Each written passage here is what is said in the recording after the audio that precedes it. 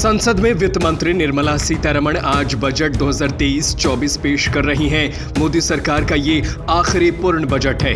बता दें कि निर्मला सीतारमण पांचवी बार बजट पेश कर रही हैं। इसके साथ ही उन्होंने आज एक नया रिकॉर्ड अपने नाम कर लिया है। वो पांचवी बार पूर्णकालिक बजट पेश करने वाली पहली महिला वित्त मंत्री बन गई है। वहीं इनके बीच वित्त मंत्री सीतारमण ने लोकसभा में बजट का पिटारा खोल दिया है। इस बीच लोकसभा में वित्त मंत्री सीतारमण बजट पेश कर रही हैं। लेकिन उनके बजट भाषण के दौरान कुछ ऐसा हुआ जिसका वीडियो वायरल हो गया है। दरअसल जब सीतारमण बजट पेश कर रही थी इसी दौरान संसद मोदी मोदी और जय श्री राम के नारे से गूंज उठा।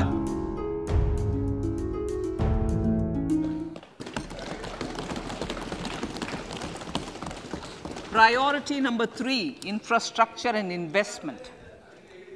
Investments in infrastructure and productive capacity have a large multiplier impact on growth and employment. After the subdued period of the pandemic, private investments are growing again. The budget takes the lead once again to ramp up the virtuous cycle of investment and job creation.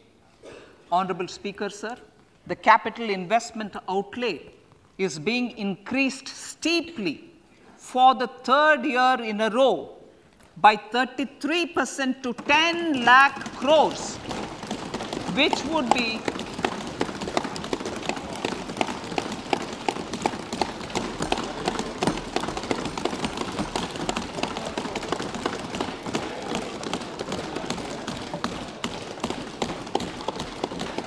which would be 3.3% of GDP. This will almost be three times the outlay made in 2019-20.